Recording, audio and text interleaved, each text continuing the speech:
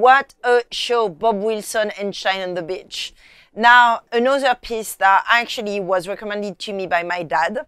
Uh, it's the Prisoner TV series, and that's a TV series from the 70s that greatly inspired me. I even did a show called Micronation Revolution, which was um, totally inspired by uh, The Prisoner. And so The Prisoner is a story of this uh, agent, MI6 agent, that decided to resign, but nobody know why he decided to resign.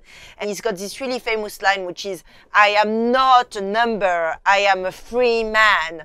And that is fantastic to me because he represents exactly the kind of existentialist uh, uh, philosophy that I follow as well into my practice, where, you know, for him, it's like, um, you know, whatever you try to do, whatever mind control you can do on him, you know, he's not a number and he will always try to kind of like go against the kind of the system, the way it's being set up.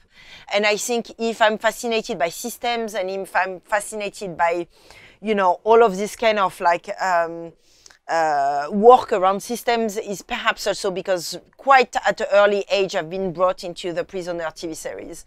And I don't think there is anything like that that exists and kind of surpass the Prisoner.